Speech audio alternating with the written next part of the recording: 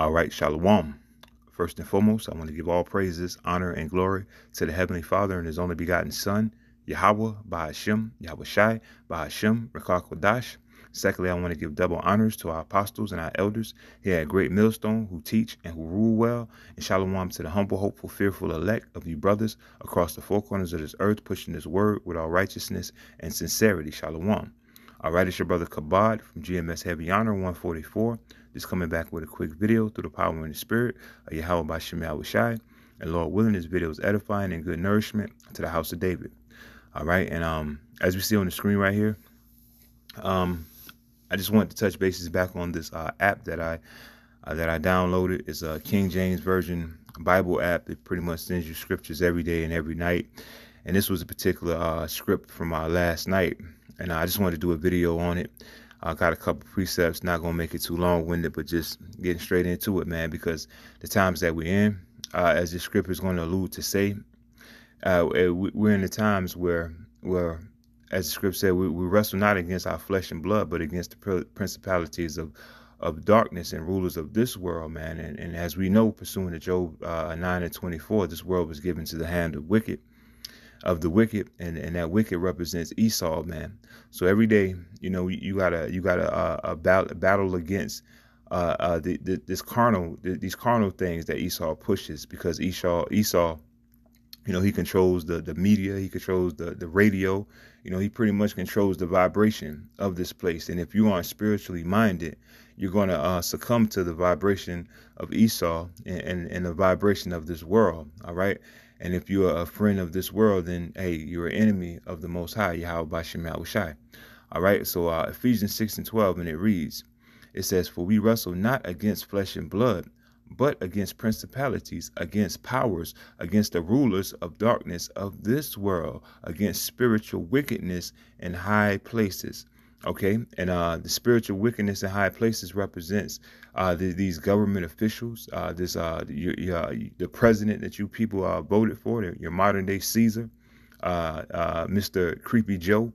Um, uh, uh, the rulers of darkness represents those the elites, man. All right, the the the the one percent, so to speak, the the bankers that's controlling the money, controlling the narrative of this world, man. All right, and and and and ways that they implement their powers, their dark powers. All right, is is through the uh, television, through the music, uh, through the scare tactics, through the news.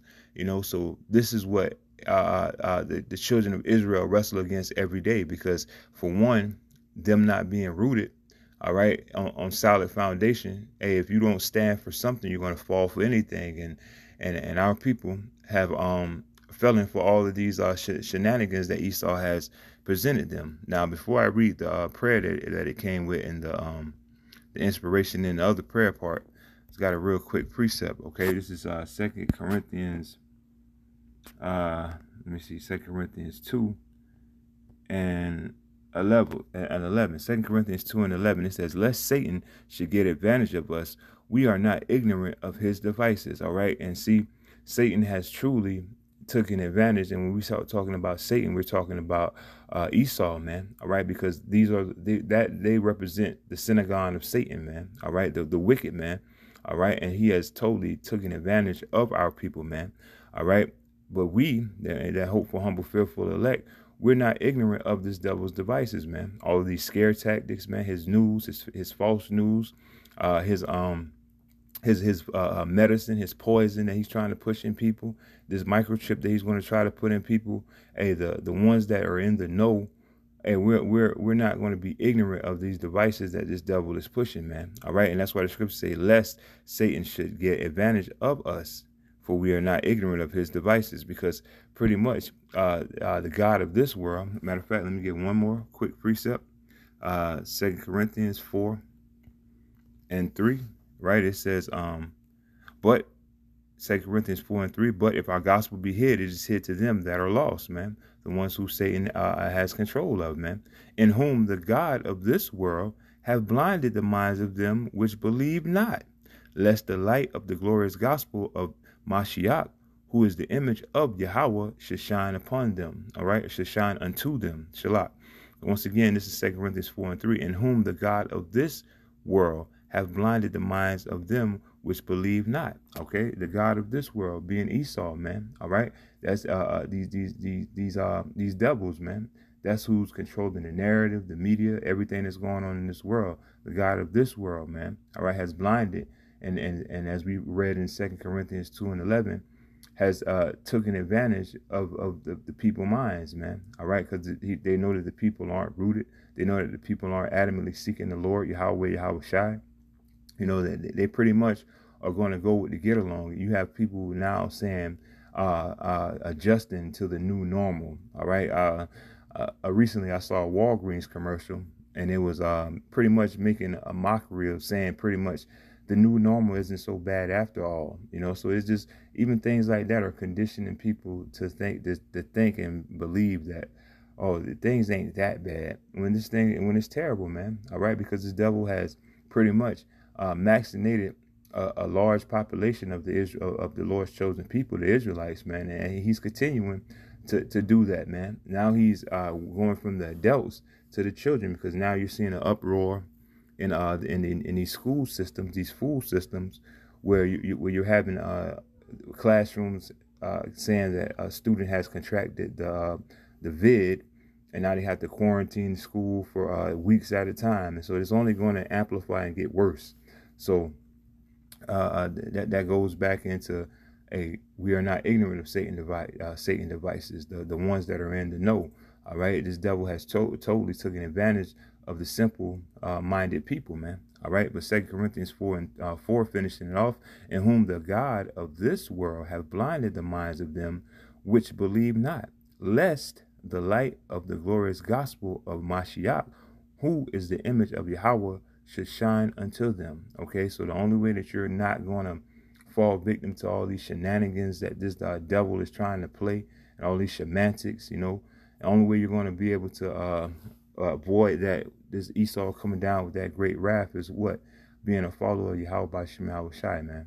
All right, because uh, it's, it's, it's the Lord that does the choosing and shines the light of truth upon you, man.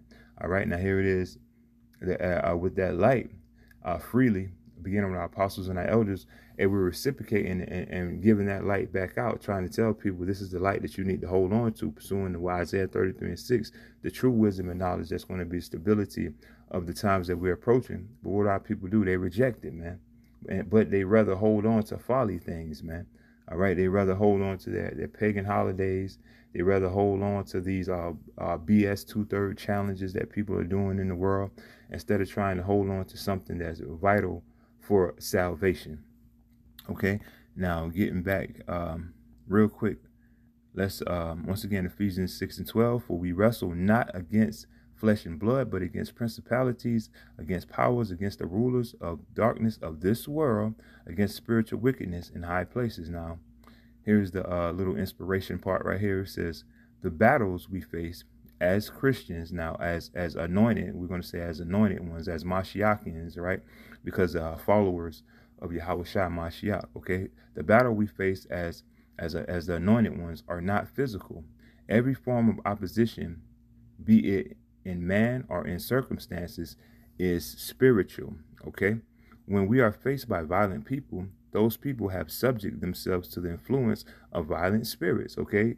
Hey, because a lot of our people are are in the ways of this world, man. They're not trying uh, the spirit of the heavenly Father. Okay, we cannot afford to not see anything. Uh, cannot we cannot afford to see everything as spiritual. But as much as we may may have many spiritual enemies, we are not without defense. Yahweh has equipped us and he covers us to ensure that the enemy will never overthrow us no matter what. Okay, and that that, that makes me think of, of that scripture that says, "If it were possible, the uh, elect could be deceived." Okay, but see, this is a, a, inspiration for the elect, man, because it's not possible for this devil to deceive the elect. The Lord has, He has a a, a group of He has His chosen. Okay, the Lord has His His chosen. All right, many called, few chosen. Abaratazah beginning with our apostles and our elders on down to sincere brothers, uh, to myself, you know what I mean, and all sincere followers of Yahweh, Yahweh Shai, and may we be a part of that chosen, that Barkayarium, you know, that elect. All right, now, and this, it says, um, every form of opposition is, uh, be it in man or in circumstances, is spiritual, right? let's get let's get a few precepts. Let's get a few precepts because this is a, a, spiritual thing that we're in, man. All right, and most of our people are carnal minded and, and, pretty much in the flesh, man. All right, and they're not even putting up a fight. This devil has taken advantage of them, and they pretty much uh, are just letting the devil have their way with them. Okay, as far as when it comes to this vaccine, when it comes to not pretty much submitting yourself to the heavenly Father. All right. Uh, Romans 10 tell us that the Lord says that, hey, our people have that zeal, but not according to knowledge, man.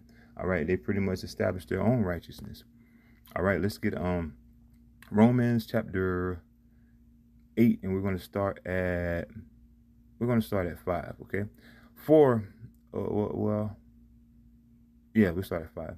For they that are after the flesh do mind the things of the flesh, but they that are after the spirit the things of the spirit, okay? And most of the people, two thirds of our people to be exact, are pretty much after the, the, the, ways of the flesh, man. All right, they're not seeking the heavenly Father. While the, clearly the Lord is making His presence known, letting you know by you seeing the chariots, by you seeing the signs, uproars of the people, World War Three on brinks, this devil coming down with a great wrath, and you still have people still operating after their flesh, man, not uh, uh, trusting in their enemy. All right, uh, uh trusting in these positions of no value, those are all things that have you still in the mind frame of the flesh. Because if you were this in, in the spirit, you would know to trust in the Lord. Because the scriptures tell you, the Lord said, don't trust man. Uh, Psalms 118 and 80 said it's better to put your trust in him than to put your confidence in man. And uh, hey, those are your your enemy is the main man trying to give you all this uh this this poison in your veins, man. All right, Romans 8 and 5, it says, For they that are after the flesh do mind things of the flesh, but they that are after the spirit, the things of the spirit. And that's the hopeful, humble, fearful elect, man. Being in the spirit, man. All right. Leaning and trusting on Yahweh Bashim Shai, man.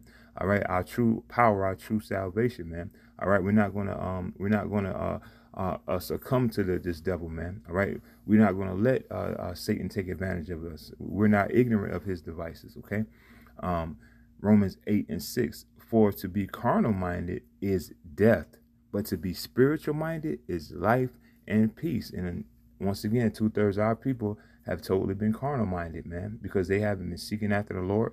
It's a carnal thing to trust in your enemy. It's a carnal thing. It's foolish. It's wicked. That word carnal goes into lewd behavior, foolishness, man. All right.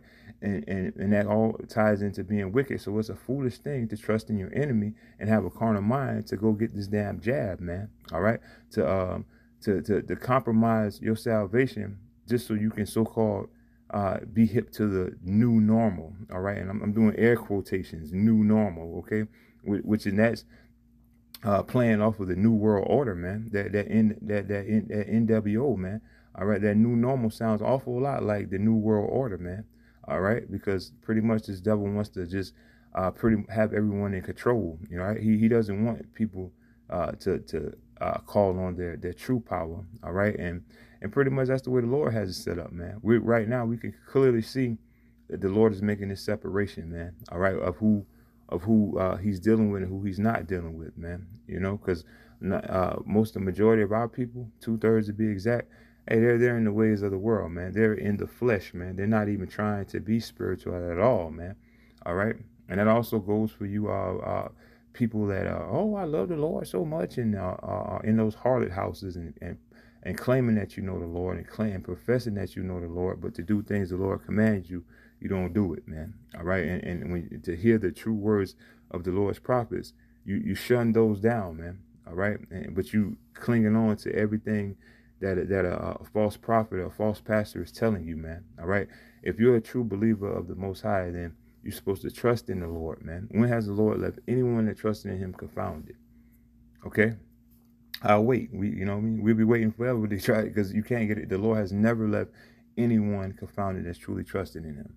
Okay, so this is um, Romans eight and six again. For to be carnal minded is death, but to be spiritual minded is life and peace. All right, and that's the hopeful, humble, fearful elect. Those prudent minds. All right, that's crowned with knowledge, man. This is how we found our life and peace, man. Because hey, when you're in the spirit, you understand uh, that this hell state of mind that we're in, you understand that the spirit of prophecy, you understand that uh, uh, this is going to translate to our salvation. All right, this Pete like it's going to be pursuing back to Isaiah 33 and 6, is the only thing that keeps us uh, stable. All right. Uh, Romans 8 and 7. Because the carnal mind is enmity against Yahweh. You see that? The carnal mind is enmity against Yahweh, man. For it is not subject to to the law of power of Yahweh, neither indeed can be. You see that? So the carnal mind is pretty much opposition to the Lord, man. All right. So uh, when you're uh, wrestling against these uh, wickedness in high places, if you don't have your um, your your, uh, your spiritual uh, mind frame, then you're going to pretty much succumb to to your flesh, man. All right.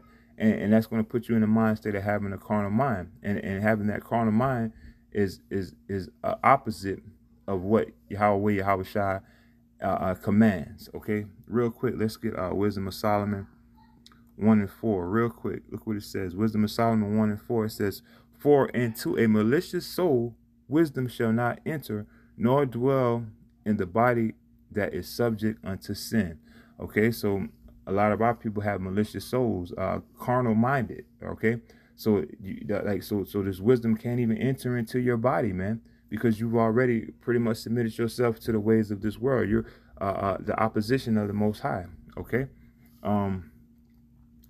Uh. Let's get back to this right quick. Uh, read this quick prayer that they put, and it says, um, this prayer going with this Ephesians six and twelve was pretty heavy. It says, "Dear Yahweh, every day the enemy tries to attack your children through other people, authorities, and other influences." Father, in times where the fight may seem like too much, I ask that you help us push through. May we never forget that we already have the victory because we are in Mashiach. In Yahweh name, I pray. Amen. You see that? And that's a beautiful prayer right there, too, man. All right. Of course, you know, they got uh, uh, JC in, in, there, but, you know, we filter that out and we, we put the right name in there, man. All right. And Shai's name, you know what I'm saying? we, we pray. Amen. All right. And it says, um, uh, uh, uh, our people, the Lord's children, are attacked through other people and authorities and other influences. And who are those authorities? This government. All right. Your modern day government. These are uh, physicians of no value. Other influences, including these damn celebrities. And, and, and, and they know that our people are going to uh, uh, follow those ways, man.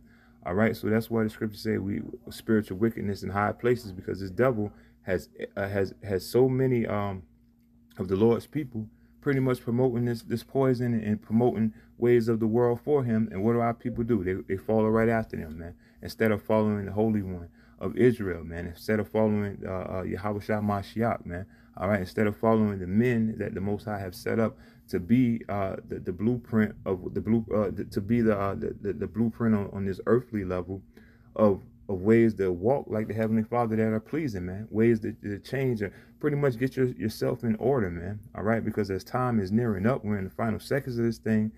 Hey, man, a lot of people are going to be caught with their damn pants down when the Lord returns like a thief in the night. All right, and um, I'm gonna close with this right here. This is uh, Second Corinthians chapter 10.